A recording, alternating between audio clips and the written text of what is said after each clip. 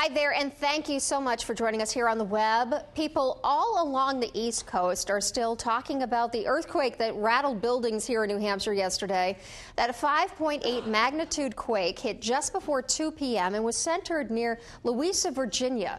A tremor sent people running into the streets as it shook buildings up and down the East Coast.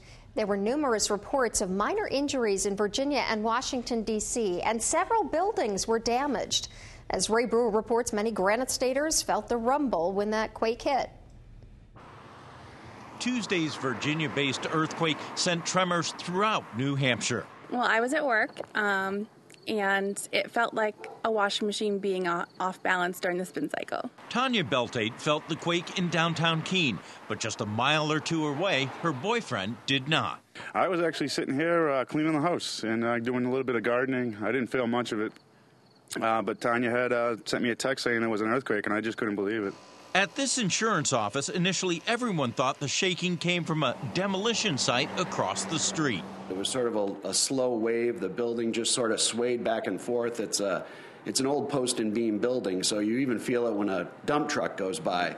But uh, this was quite different. And in Concord, the state activated its emergency operations center. Anytime any kind of an incident occurs where we may need to either share information with our local uh, emergency management folks, uh, we will then uh, activate and get up to a level two.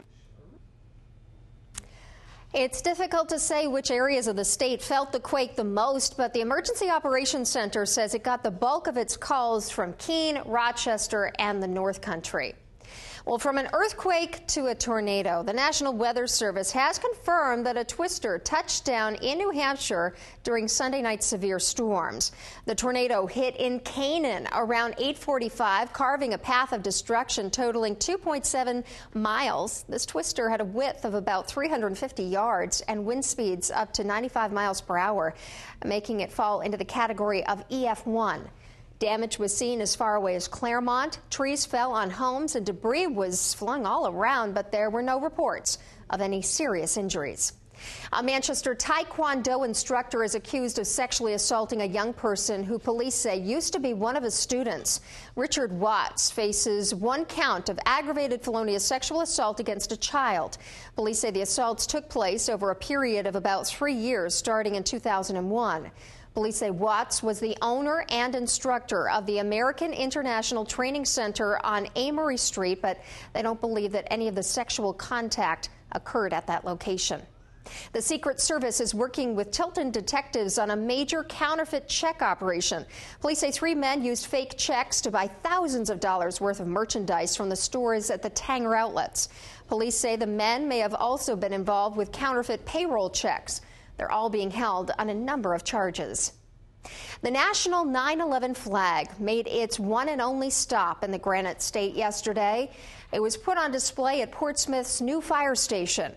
It once hung across the World Trade Center before 9 11. The flag is being mended now using pieces of retired U.S. flags. The flag was found dangling from a scaffolding on a building on 90 West Street, across the street from the World Trade Center. 12 by 24 patch that came from New Hampshire, that came from three flags flown in Portsmouth. Tornado survivors in Kansas began, began stitching this uh, flag. Since then, some 13,000 people have joined in, including family members of 9 11 victims. The flag will eventually be displayed at the National September 11th Memorial Museum, currently being built at Ground Zero.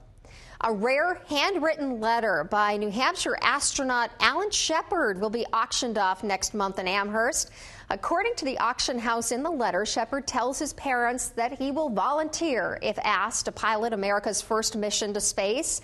The Derry native wrote that letter back in 1959. In 1961, a rocket powered suborbital flight made Shepard the first American in space.